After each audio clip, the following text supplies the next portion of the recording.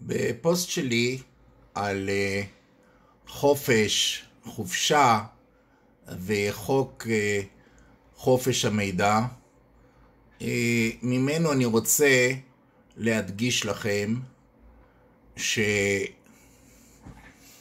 שההגדרה שלי לחופש היא להיות עצמאי בכל, לא להיות תלוי באף אחד, לממש כל חזון וחלום שלי, מדי יום לבצע נתינה ללא תנאי, על בסיס ואהבת לרעך כמוך, לטייל גם בארץ וגם בחו"ל, אבל לא בטיול מאורגן, ולפעול על פי העיקרון כל תוכנית בסיס לשינויים.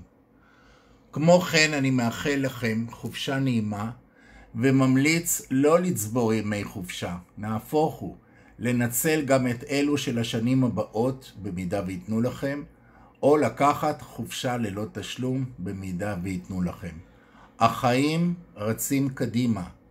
כל יום שאתם בגיל שלכם יכולים לנצל, הרי שמאוחר יותר, שתהיו מבוגרים יותר, ייתכן שלא תוכלו לנצל. אז תעשו הכל כדי שיהיה לכם חופש מוחלט בנפש, בפיזי, ביום-יום. תנצלו את השעות החופשיות שלכם לתחביבים, תנצלו את השעות שלכם להשקיע במשפחה שלכם, וחופש זהו זה מה שאתם צריכים, מה שכולנו צריכים.